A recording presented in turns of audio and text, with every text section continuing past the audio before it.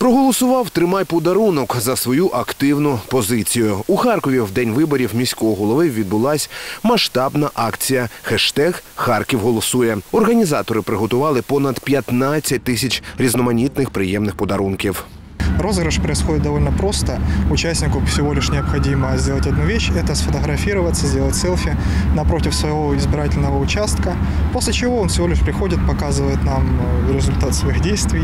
И мы разыгрываем очень много, призов. Это билет, билеты в зоопарк, бесплатная кофе, бесплатная пицца, множество партнеров, такие как «Пузатая хата», тот же буфет, аттракционы «Лазертаг», то есть множество призов, которые люди могут выиграть. Всього по місту розміщено близько 10 точок, де харків'яни могли отримати приємні подарунки. Кожній анкеті, що заповнили харків'яни, був надано випадковий номер у точках видачі подарунків. А вже о 20.10 всі вони зможуть взяти участь у розіграшу новенького айфону 13. Переможця обере рандомайзер у парку імені Горького. Просто проходили мимо.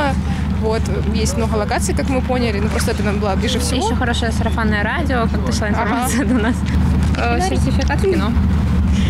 Проголосовать нужно для того, чтобы больше людей принимало в этом участие, а, соответственно, больше от нас зависел выбор, так сказать, что будет в дальнейшем. Я голосовала за продолжение развития города. Я думаю, что хорошая акция. Она поощряет людей, чтобы действительно пришли, на, проголосовали за достойного человека, выбрать мэра города. Ну и поощрение это приятно всегда. Главное прийти на участок, проголосовать за достойного ну, человека, который будет работать именно на благо а, Харькова, на благо людей харьковчан. важно. Мне уже 67 лет, и я всегда хожу и голосую, знаю, что важно. И может даже мой голос и поможет. Я голосовала за развитие своего любимого города Харькова. Любимого Харькова. Обязательно надо голосовать. Ну, это ж наш гражданский долг. Что значит дома посижу?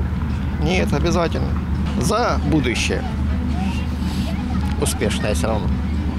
Ігор Безкровний та Ярослав Кононенко Харківські звістя.